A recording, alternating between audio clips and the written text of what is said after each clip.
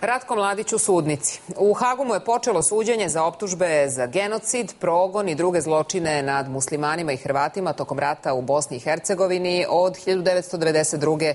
do 1995. godine. Suđenje je počelo uvodnom rečju tužilaštva, sve to prati naša Ljubica Gojgić. Ljubice, šta je tužilac rekao u svojoj uvodnoj reči? Uvodna reč tužioca Amerikanca Dermota Gruma izgledala je tako da potvrdi da je suđenje koje je danas i formalno počelo kruna rada tužilaštva kada je reč o ratu u Bosni. Tokom cele uvodne reči tužilac Grum citirao je izjave brojnih svedoka i brojne dokaze koji su se čuli na mnogim prethodnim suđenjima bosanskim Srbima koji su se teretili svi zajedno za ono što se sve skupljeno na jednom mestu nalazi u optužnici protiv Ratka Mladića. Nema sumnja da je reč o najznačajnijem procesu koji je pokrenut i koji će se voditi u Haškom tribunalu i nema sumnje da je reč o sasvim novom izazovu za tužilaštvo. Iako se misli da je sve već dokazano, desetine presuda postoje u Haškom tribunalu koje su se odnosile na Srebrenicu, Bratunac, Prijedor, Sanski most, Sarajevo.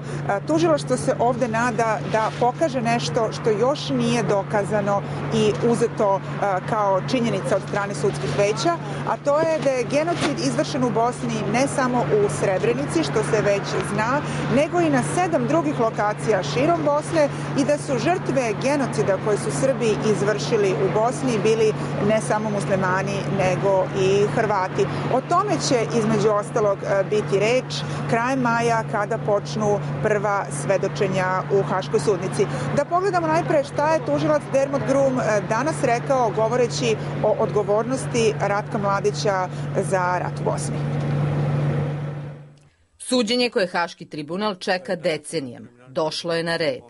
Progon i ubistva muslimana i Hrvata širom Bosne i Hercegovine. Ubistva hiljada muslimanskih zarobljenika u Srebrenici u leto 1995. godine. Napad na Sarajevsku pijecu Markale. Tužilac je ređao zločine koji se Ratku Mladiću stavljaju na teret. Zajedničko tim zločinima jeste zločinačka namera da se bosanski muslimani i Hrvati trajno uklone sa velikog dela teritorije Bosne i Hercegovine na koju su lideri bosanskih Srba polagali pravo. Zajednički su im i počinioci koji su delili tu zločinačku nameru. Zajednička im je i činjenica da su to zločini Ratka Mladića i tužilaštvo će bez sumnje dokazati da je Mladićeva ruka vidljiva u svakom od tih zločina.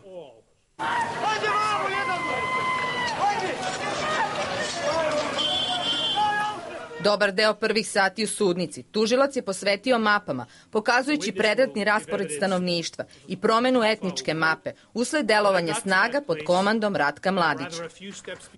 Kako bi se promenila stvarnost na terenu, lideri bosanskih Srba rešili su da etnički očiste teritoriju i da prisilno iscele nesrbe iz svojih domova. Rukovodstvo bosanskih Srba dalo je Mladiću mandat da ureže granice sa krajišnikove karte u bosansku zemlju. Rukovodioci bosanskih Srba počeli su napade na svoje sugrađane u Bosni samo zato što su bili druge vere ili nacije. Tužilaštvo je već za uvodnu reč koristilo zapise iz Mladićevih dnevnika, nađenih prilikom pretresa njegove kuće u Beogradu. Ljudi u Bosni i Hercegovini su bili jednostavno nerazdvojivi i to je nešto čega je i sam Mladić bio svestan. Onog dana kada je postao komandant glavnog štaba Vojske Republike Srpske, rekao je, citiram, ljudi i narodi nisu piljci niti ključevi u džepu pa ćemo ih premestiti tamo amo. To je lako reći, ali je teško ostvariti kada je posmatrali srpskom. Prvi dan suđenja na galeriji sudnice pratili su i predstavnici udruženja žrtava iz Bosne. Oni su komunicirali gestovima sa optuženi, a sam Mladić je aplaudirao nekim tvrdnjama tužioca.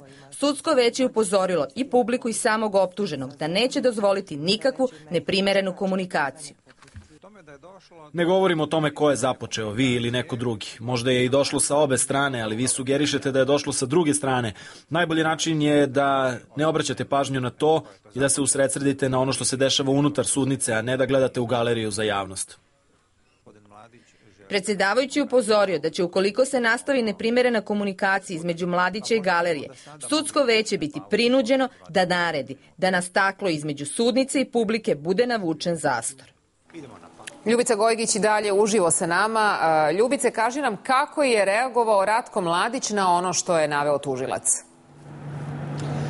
Ratko Mladić je, kao što ste čuli, povremeno klimao glavom, na neke navode je aplodirao. Njegova odbrana odlučila je da ne, on ne iskoristi pravo koje optuženi nekada koriste, pa se na kraju uvodne reči tužioca obrate jav, javnosti. Mladić to neće učiniti, ali on je danas bio uvučen u jednu vrstu do duše neverbalne komunikacije u sudnici, kao i prilikom njegovog prvog pojavljivanja u Hagu i prilikom izjašnjavanja o krivici.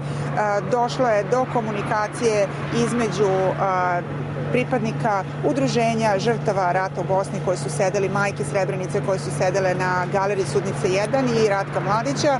Bilo je razmene nekoliko gestova, neki mediji su od toga napravili velike priče, tvrdeći čak, izvlačeći čak zaključke da je Ratko Mladić pretio majkama Srebrenice. S druge strane, iz Sudnice se moglo čuti da je preteća a, komunikacija i preteće poruke da su dolazile upravo sa javne galerije, ali verovatno je najbliže bliži e, istini bio sam sudija predsjedavajući Alfon Sori koji je rekao da je reč o komunikaciji koja nije primerena za sudnicu i rekao je da poručio obema stranama da se u buduće uzdrže od toga. Vidjet ćemo da li će to biti moguće buduće da se izvođenje uvodne reči nastavlja sutra upravo a, pričom i a, uvodnom rečju tužioca koja će se odnositi na događaj u Srebrenici. Inače, a, glavni tužilac Haškog tribunala Serž Bramerc govorio je ekskluzivno povodom početka suđenja suđenja e, za B92 i rekao je da bez obzira što postoje mnoge presude u ovom predmetu, on očekuje da će suđenje Mladiću biti veoma zanimljivo i zna da tužilaštvo očekuje ozbiljan rad u nastavku na ovom predmetu.